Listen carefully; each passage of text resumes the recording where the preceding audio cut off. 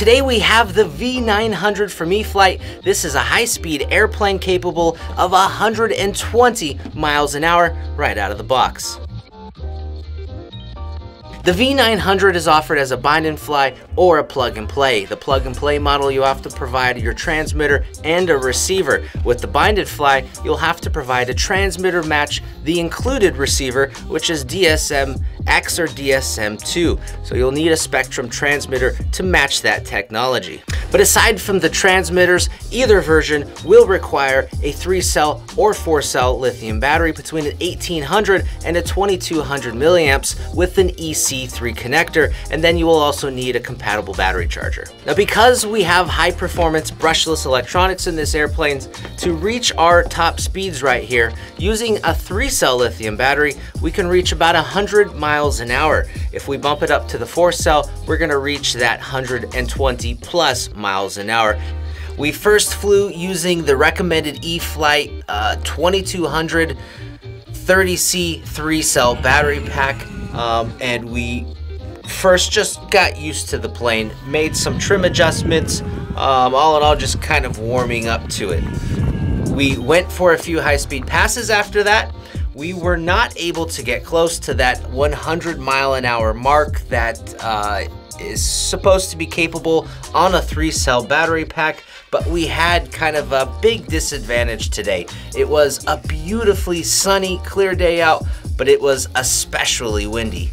Thankfully, on this bind and fly version, it has AS3X with the receiver that comes included, and it worked really well.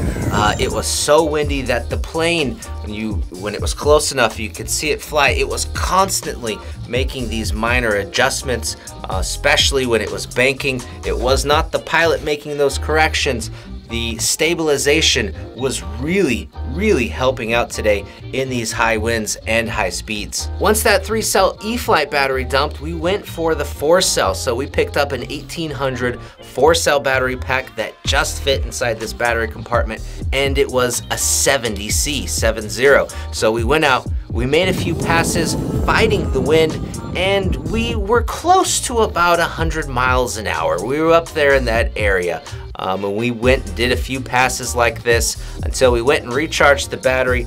We came up with a new game plan and strategy, and we finally decided to take the plane way up high, dive bomb it down, and then make our pass and in doing that, it was very successful with our first pass exceeding 140 miles an hour. After that, we made a few more passes trying to replicate that really high speed and we were able to do it. We hit 137 one time and then another, it was 140 something, uh, but we were able to repeat those results of excess of 140 miles an hour. If you're wondering what we use to clock the speeds, we use the Speedmaster 3. It is a radar gun that works very well, and we've had very good success with it, so this is what we used. All in all, the V900 is an impressive airplane.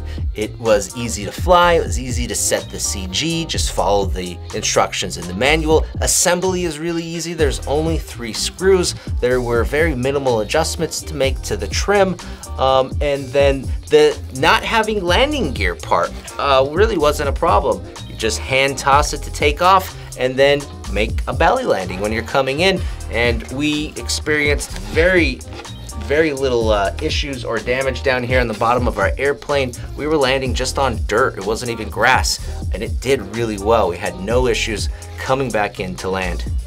A couple of last things to keep in mind about the V900 is that it is extremely fast and thusly will require a rather large flying field. AMain Hobbies has a field behind our Chico facility and it's always been adequate until today. So that's why we went to a proper airport to really open this V900 up. Also, inside the battery compartment, it is pretty dang tight. So, E-flite recommends a battery pack the physical specifications of that battery pack. Do not get anything larger. It is really important to follow those specs because this foam in here that tapers tends to get spread out or the battery pack uh, will not let the canopy go all the way down. So the result being the canopy will not close all the way and this seam right here will not be tight. The canopy just kind of kind of lifts up like that when the battery is, is bigger than it should be. We experienced about four to five minutes worth of runtime with our four cell, 1800 milliamps, uh, but that is something to consider when choosing your battery for the V900. All right guys, I hope you enjoyed this video of the E-flite V900 airplane. If you have any questions or comments for us, please go ahead and leave that down below. And if you want more information on this airplane or anything else we talked about in this video, go ahead and check out the links down below as well. My name is Brett with AMain Hobbies. Thanks for watching.